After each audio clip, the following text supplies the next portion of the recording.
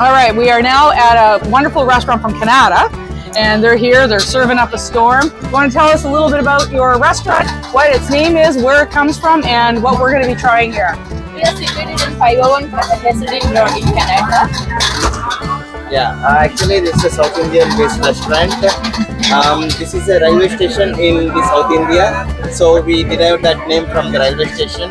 Oh, okay. Yeah, My name so- is Kachiguda and the food is famous over there, so we were happy to get the same name over here. Oh, good. Nice. Yeah, and we are serving the same delicacies what we serve in India. Amazing. And this is the first time somebody has offered us something that is sweet. Oh, this is not sweet. Oh, actually. great. You thought it was a donut, didn't you? I It did looks because I'm like a breathing donut. fire. Kind of like a Indian donut. Okay, a lentil donut. Okay. I, I was there real Oh, okay. This restaurant. Bijou pops into every shot Yeah, every picture. All right, let's try it out here. And is this uh, is that what's It's spice? Okay, and what's that? Sambar. Oh yeah, that looks like a donut. You gonna try it? Yeah, I'm gonna take care of half yours. Okay. I'll try this side. That's good. It is in your limit. The spice is okay for you. Oh yeah. No, no, this is good.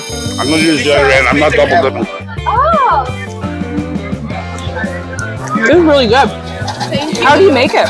So we soak the urata um, of four to five hours, Yeah. and then we roughly grind it, and then make a donut and fry it in the oil. Wow, it's good.